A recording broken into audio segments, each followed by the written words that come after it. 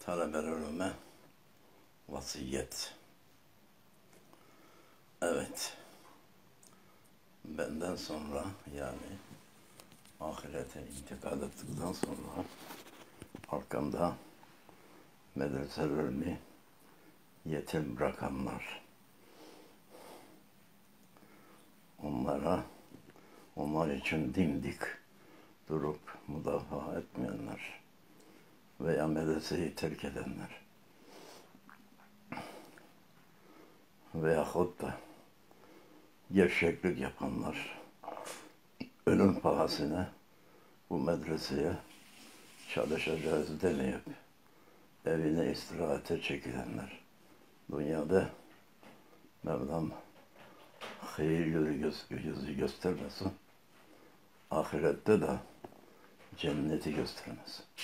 Bu çok ağır bir vasiyet ama olması gereken, vasiyettir. Hepinize kulağınıza küpe olsun. Kurtuluş burada. Nuh'un gemisi burada. Başka taraflarda kurtuluş aramayın. Hepsinin başında bir şeytan var. Kendine davet ediyor. Peygamberimiz Aleyhisselatü Vesselam ve enne haza sirati mustakima fettebi'uhu ve la tettebi'u subule feteferraku an sebilihi ayetini tefsir ederken şöyle buyurdu. Ve hâzâ sirâdî bu benim yolumdur. Mustakimen dosdoğru. Ama yolum derken mufret sıvasını kullanarak yol benim yolum dedi. Yollarım demedi. İslam'da çok yol yok. Fettebiûhu bu yola tabi olun. Bak emir. Ve la tettebiû subule. Çok yollar çıkacak önünüze. Onlara tabi olmayın. Olursanız teferraka biküm an sebilihi. Allah kendi yolundan sizi uzak eder. Evet. Bu ayet-i bizatihi Resulullah tefsir etmiş. Bundan hissesini alan alır. Evet. Sizleri bu vasiyetle baş başa bırakıyorum. Gözüm arkada kalmaz inşallah.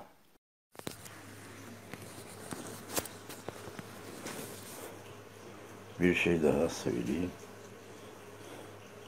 Mutlak manada düzenin istediği gibi hizmet etmek bize göre hizmet değildir. İslami yanlış öğretmek hiç öğretmemekten daha kötüdür. Hiç öğretmezse bara cahil kalır. Belki bir gün öğrenir. Ama öğretip de yanlış öğretirse o öyle kalır. O bakımdan bizim yolumuz şeriat yolu. İslam düzeninin yolu. Kur'an yolu. Sünnet yolu. Bu şeriatın efendim sünnetin ve Kur'an yolunun her yere hakim olmasının yoludur. Bir kısmına İslam karışır, bir kısmına karışmaz. Zihniyeti bizim zihniyet değildir. O başka. O İslam değildir. Evet.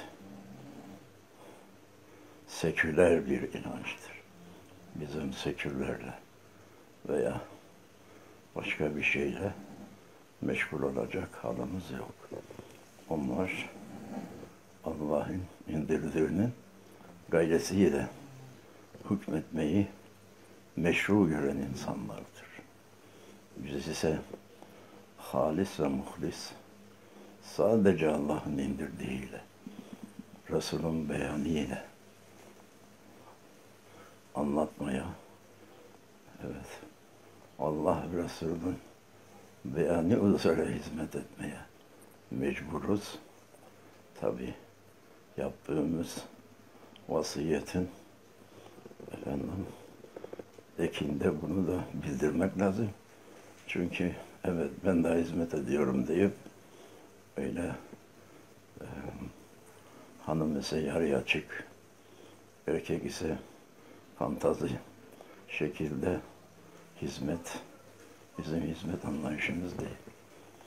Erkeğiyle kadınıyla şeriat üzere olmak bizim vazifemizdir. Şeriatın dışına çıkıldığı takdirde bütün hizmetler boşunadır. Hatta mesuliyeti vardır. Bu mesuliyetten Allah korusun bizi. Allah dini mubini İslam, şeriat ve sünnet üzere daim kılsın bizi inşallah.